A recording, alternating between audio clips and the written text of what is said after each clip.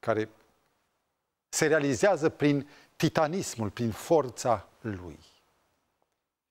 Ideea titanismului nu este o idee a secolului 21, nici măcar a secolului 20, ci este ideea Greciei antice, care vedea pe om ridicându-se în perspectiva evoluționistă din stadiul de om muritor, prin prometeism, ajungând să bată recordul și să devină un semizeu.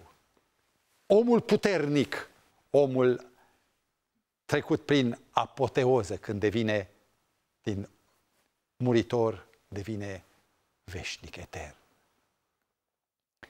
Și în fața acestei desfășurări de strălucire, de lumină, de culori, de uh, avantaje tehnologice, m-am întrebat de ce oare în acest context apusean creștinismul este în recul. Am fost și prin Africa. Am fost puțin în unele zone asiatice. Acolo unde lipsește strălucirea, glazura societății capitaliste, acolo parcă creștinismul este în progres, nu în regres. Și întrebarea era, de ce? Iar răspunsul e cel pe care îl dă Iisus Hristos când spune, când vorbește despre două împărății, stăpânitorul lumii acestea era vorba de diavolul care stăpânește ei, într-un mod foarte subtil, cu acoliții lui în trup omenesc, cu oamenii care nici nu știu, poate că fac voia lui. Și Iisus spune stăpânitorul lumii acesteia. În același timp, vorbește, de, vorbește despre o împărăție a cerurilor, despre o altă lume. Este veacul ce va să vie. Practic, descoper că lumea cu fala ei este ca o lume în oglindă. Și dacă ei lumea vizibilă, materialistă, care per, atunci creștinismul este ceva care nu se potrivește, nu se încadrează, care este corp străin. Creștinismul este în recul, acolo unde strălucirea lumii acesteia inundă toate cutele sufletului și ale minții. Modelul asupra căruia ne-am oprit câteva ocazii, destul de multe, este Iacov. Este eroul biblic. Un erou biblic care e dotat cu inteligență, capacități superioare față de fratele lui, este chiar uh, dotat cu multe îndemânări de a succede, de a reuși, de a fi eficient în afaceri, în manipulare. Iar acest Iacov promite într-adevăr să urce scara spre apoteoză, pragul dintre muritori și nemuritori. Și totuși, acolo la Iaboc, în capitolul 32 al Genezei, pe care astăzi îl vom încheia, acolo îl găsim într-o încleștare cu ființa divină, cu Isus Hristos, numit aici în alte părți îngerul, adică, adică solul. E un sol al cerului, este a doua persoană a divinității care s-a angajat în această misiune solia salvării să ajungă la om. Iar el este agentul care face posibilă știu, realizarea acestui proiect. Și în această încleștare dintre Iacov și înger și Domnul Hristos, care durează nu cât o luptă de stradă, până când omul se epuizează, ore întregi, în această încleștare, Iacov este lovit la șold, cade și se prăbușește. Și atunci când, cum arată imaginea, când este la pământ, când este zdrobit și biruit, atunci aude două cuvinte ești biruitor. Și în această extraordinară uh, știu, situație paradoxală, adică când sunt înfrânt, sunt biruitor. Cum vine asta? Aici este seva cea mai profundă a planului de salvare. De aceea și insistăm pe acest filon atât de mult. În această ipostază am parcurs deja dialogul cu uh, ființa divină, el de jos îl apucă pe înger de mijloc, de mânecă și spune nu te las să pleci până nu mă vei binecuvânta. Hai să citim pasajul biblic al acestui fragment. Din Geneza 32, versetul 29. De pe jos, din țărână, Iacov l-a întrebat, spune te rog, numele tău. El a răspuns, pentru ce îmi cer numele? Și versetul 29 se încheie și l-a binecuvântat acolo. Hei, ce interesant! Ce a vrut Iacov? Pentru ce a stat 20 de ani în exil? Pentru ce s-a luptat cu Esau din tinerețe? Până la 76 de ani, când a hotărât să fugă de acasă. Pentru ce s-a luptat? Ce a vrut el? Ah, a vrut cu năduf un singur lucru. Binecuvântarea. Pentru asta a urzit el pladuri, înșelăciuni. Și acum se întorcea cu speranța că își va lua în primire binecuvântarea. Știi, ceea ce omul crede că, că poate obține prin furtișag e doar o pagubă, e zero. Am avut un prieten care, o cunoștință, care a fost mafiot, dar un mafiot de la de sămânță mare, internațional, urmărit de, spunea, 10 țări îl au pe lista wanted, adică căutat. Și el spune, câștigam într-o seară, într-o noapte, într-o operațiune, 50 de mii de euro. Pai de mine, nici nu știu să calculez câți lei fac. 50 de mii de euro. Și spune, într-o noapte, He, vezi tu, binecuvântarea aceasta furată nu dă nu e. Și în sfârșit acum, când este lovit la șold și când cade la pământ, primește în condiția de zdrobit, primește binecuvântarea. Și l-a binecuvântat acolo, în sfârșit, după 20 de ani, plus anii vieții lui. La data aceasta, nu spun, avea 97 de ani când se întoarce acasă. 97, era centenar. 100 de ani și n-a primit-o. Și când se află căzut și zdrobit, atunci îi se dă. Și aș vrea pentru aceasta să vorbesc puțin despre binecuvântare. Pentru noi, binecuvântarea este darul. Este ceea ce poate Dumnezeu sau uneori omul să reverse peste noi. Știi, copiii așteaptă binecuvântările de zilele lor de naștere. Și cam așa cumva dă să pară ceva care curge, care se răsfrânge, care se prelinge în, peste ei. Și acesta este modul în care omul material, omul fizic care trăiește în această antilume, consideră, judecă binecuvântarea. Și totuși, la Dumnezeu, că e singurul care binecuvintează. El zice și se face, ce poruncește și ce poruncește ea ființă. Noi degeaba dăm din limbă că nu se produce nimic. Noi suntem doar niște încurajatori, niște mângâietori slabi, care nu putem să facem prin bine sau rea cuvântare nici bine, nici rău.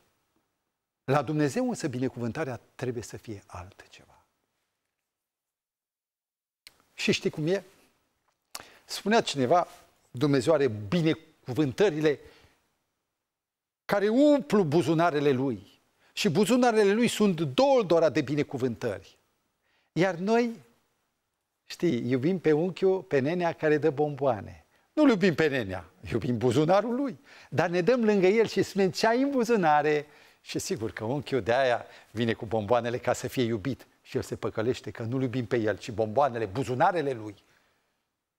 Ori Dumnezeu e dispus să dea toată haina, dar nu fără El. Atenție! Când Dumnezeu dă binecuvântare, El se dă pe sine împreună cu bomboanele, în ghilimele, din buzunarele hainei pe care o poartă. Dumnezeu se dă doar pe El. Ca să-L pot primi pe Dumnezeu, ei, aici e problema. Spunea cineva că două săbi într-o teacă și două picioare într-un pantof nu merg. Și singura șansă, singura șansă este a? ca una din săbii și una din picioare să dispară.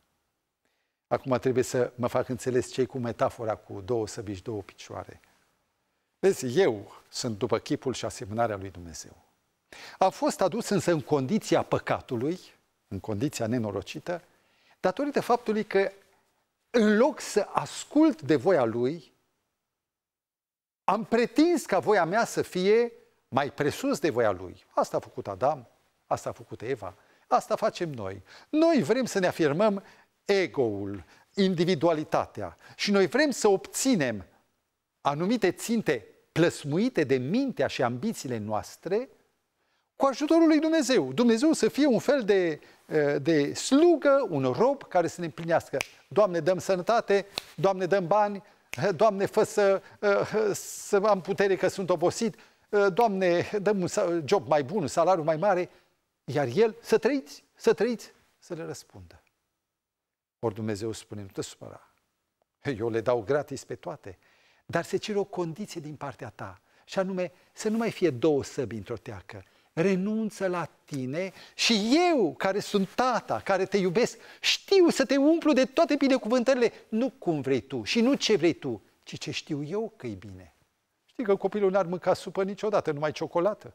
Și ce s-ar întâmpla cu el? Știi că medicii zic, hiperactivitatea este rezultatul unei, printre altele, a unei diete defecte. Copiii n-ar vrea să se culce după amiază sau să se culce uh, de vreme seara. Ei ar vrea să stea toată noaptea, că așa este uh, cool, așa este Gigea. Părinții săi îi pun la odihnă, chiar și pedepsesc dacă nu ascultă. Vezi, Dumnezeu care e Tată vrea să-ți dea binecuvântarea, dar îți cere un singur lucru. Și atât de greu e să împlinesc acest singur lucru, care e spre binele meu, și anume să mă predau. A avut o falsă înțelegere bietul om, bietul Iacov. Și noi atât de multe ori ne punem pe genunchi și strigăm, Doamne, dăm, Doamne, făm, și nu se întâmplă. Iar binecuvântarea Dumnezeu o dă cu o singură condiție, cum a dat-o lui Avram, cum a dat-o lui Isaac și cum a dat-o lui Iacov, în momentul în care eul se sfărâmă, se zdrobește. Ori aceasta este condiția mântuirii. O credință care crede în Dumnezeu e bună, dar zice Iacov în epistola sa 2 cu 19, și dracii cred și se înfioară. Ori credința care nu conduce la o dependență totală. De fapt, credința însemnează, într-un fel, a depinde, a atârna de Dumnezeu și de voia Lui. Vezi, dragul meu, Iacov e prototipul tău și al meu. Și Iacov este acela care rezistă, dorind binecuvântarea și doar în momentul în care cade zdrobit, atunci o primește surprizător și e și declarat în momentul zdrobirii, ai biruit, ești un biruitor. Interesant, în lumea aceasta, biruitorii, în lumea materială, în lumea capital, capitalului, biruitorii sunt cei puternici, sunt cei sus, care calcă eventual în picioare cadavre. În lumea lui Dumnezeu, biruitorii sunt jos. Cei care au fost biruiți, nu de oameni. Că nimeni nu l-a biruit pe Iacov, doar Dumnezeu cei care se predau înaintea lui Dumnezeu, care își păstrează demnitatea de copii al lui Dumnezeu în fața oamenilor și în fața lui Dumnezeu sunt, cum spunea Pavel, roba lui Isus Hristos. Ah, și aș vrea și eu să spun Lucianu, roba lui Hristos. Și asta e singura mea luptă, n-am alta, decât să mă predau în fiecare zi lui. Ei bine, ne apropiem de încheierea capitolului și mai avem câteva, câteva reflexii la urmă. Geneza 32 cu 30 și Iacov a pus locului aceluia numele Peniel, adică fața lui Dumnezeu. De ce înseamnă fața lui Dumnezeu? Atunci când îl vezi pe El, ești mic. Când te uiți la oameni, ești mare. Dar când stai înaintea lui Dumnezeu, ești smerit și mic. Iar locul acesta, Peniel, a fost denumit așa, a fost numit așa tocmai ca să amintească de istoria lui Iacov care s-a produs când omul s-a întâlnit față în față cu Creatorul. Au încercat oamenii să caute unde se află acest Peniel. Eh, Israelul este, dacă vrei, un sit arheologic și istoric în toată țara. Poți să spui, uite, aici a fost Gedeon, uite, aici a umblat eh, David, fugarul, uite, aici Isus a călătorit cu ucenicii, aici e muntele Tabor, aici este muntele, știu eu, uh, Enghedi, un loc frumos, cu natură, Galileea și așa mai departe. Și oamenii au căutat să identifice Iabocul la uh, 11 km răsărit de Iordan, pe râul Iaboc, acolo se află o localitate, acum se bănuiește că o fi aceasta sau nu, Tulul et Dahab. Știu eu, a fost aici sau aici, este un alt loc care nu e departe de râul Iaboc, e chiar pe cursul lui, un loc destul de pustiu, acolo unde s-a aflat noaptea. Nu știm. E atât de puțin important să cunoști geografia. Mai important, are și asta farmecul lui. Dar mai important este să cunoști semnificațiile acestui lucru. Geneza 32 cu 11 continuă mărturia biblică. Soarele răsărea când Iacov a trecut pe lângă Peniel. Însă Iacov șchiopăta din coapsă. Ce e? Este o etapă nouă. Este o schimbare totală de scenariu. Este o totală, cum să spun o metamorfoză. În loc să fie Iacov cel puternic, Iacov cel care vine să uh, desfășoare forța, dibăcia, succesul economic în fața fratului său, apare un bătrân sprijinit în baston, un neputincios, unul care are nevoie de un singur lucru, mila. Te surprinde faptul că biruitorul e zdrobit. Să știi, dragul meu, că aici este surpriza cea mare a creștinismului. Și aici este cu adevărat punctul forte, că cei zdrobiți, cei căzuți, cei loviți, cei care sunt sunt zdrobiți de slava lui Dumnezeu, aceștia sunt cu adevărat biruitorii. Ei stau ca modele. Și Avram, când a fost să ridice cuțitul asupra copilului său, eh, Iacov, când uh, Isaac, când s-a predat pe altar, gata să moară, Iacov, când cade zdrobit, eh, David, când fuge năuc, Moise, când este prigonit, Pavel, toți cei zdrobiți sunt biruitori. Uite, am un șir de texte frumoase și aș vrea să ți le citesc. Mi-au venit târziu în minte și n-am avut vreme să le trec pe ecran. Dar în Psalmul 34, ți citesc textul și o să-ți placă. Așa că te vei regăsi cu siguranță, cum și eu mă regăsesc în acest text. Cu versetul 18. Domnul este aproape de cei cu inima înfrântă. Vezi? O lume în oglindă. Și mântuiește pe cei cu Duhul zdrobit. Nu e vorba de cei zdrobiți de oameni, cercetorii, neputincioși. Nu, e vorba de omul înaintea lui Dumnezeu. Omul care nu mai este stăpân, domn, și este rob. Un alt text extraordinar se află în Psalmul 51, uh, un psalm al lui David, care e foarte semnificativ. Versetul 17, 51 cu 17. Jertfele plăcute lui Dumnezeu, fii atent, jertfe plăcute, ce să aduci? Bani. Ce să aduci? Bogății. Ce să aduci? Promisiuni. Nu, zice, jertfele plăcute lui Dumnezeu sunt un duh zdrobit. Dumnezeule, tu nu disprețuiești o inimă zdrobită și măhnită. Bine, David avea motive aici să se mâhnească pocăindu-se de un păcat oribil. Dar asculte ce spune în Isaia, capitolul 57, cu versetul 15. Ia să vedem noi. 57 cu 15. Da. Căci așa vorbește cel prea înalt, a cărui locuință este veșnică și al cărui nume este sfânt. Eu locuiesc în locuri înalte și în sfințenie, dar sunt cu omul zdrobit și smerit, ca să înviorez duhurile smerite și să îmbărbătez inimile zdrobite. Observi? Aici este cheia.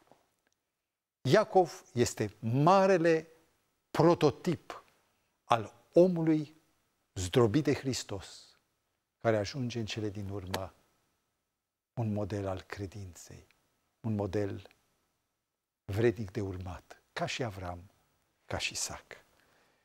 Da, dragul meu, versetul 32 din capitolul Marele, capitolul 32, continuă cu o constatare. Nu te speria de această, știu eu, bizarerie. Citesc. Iată de ce până în ziua de azi israeliții nu mănâncă vâna de la încheietura coapsei, căci Dumnezeu a lovit pe Iacov la încheietura coapsei în vână. Știi ce înseamnă asta?